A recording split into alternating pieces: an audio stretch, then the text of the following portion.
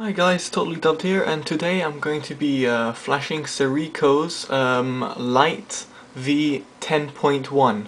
Um, this is um, similar to the Extreme Edition, so made by Darky, and similar to the uh, Resurrection uh, edition made by Facetto.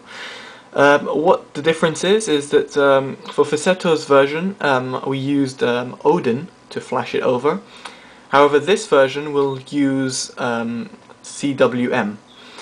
So what that means is that you will have to have uh, 10.1 already installed. For example, if you have Darky's 10.1 and want to go for a lighter build but do not want to use Odin, then you can use this. This is a good example of it. However, the best thing at the moment for um, i9000 users, um, if you if you're not on a JVH base, is to flash over the RE version. So the version that I've currently got now. As you can see, I am on about phone. You can see at the moment I'm on 10.1 RE, Dark Core 2.5, ZSJPG is the modem, and so now I'll be flashing over um, the light version.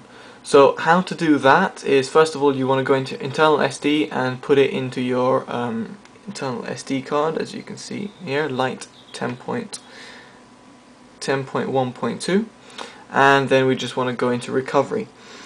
Before we do that however you've got the choice of choosing three options in the um, Darken Configurator app. Wipe the device I'm not too sure about at the moment but you could try that if you want. Um, and you've got swipe, live wallpapers and extra fonts. That's the only three options that you you can choose and funny enough that's the only three options that I want to install. So I'm gonna go into recovery now Right, so now we go to install zip from SD card, choose zip from SD card, and go to light 10.1.2.zip and install. Right, so once that's done, we go go back.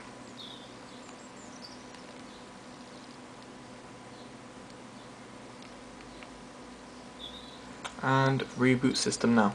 And right there is the uh, boot animation. So after just about uh, one or two minutes uh, appears the boot animation. As you can see one of Goldie's uh, boot animations, Blueprint, uh, Green Blueprint is the name of it. Right, so when it's flashed over, as you can see you can choose your launcher, so I'm just go with the default launcher that's provided.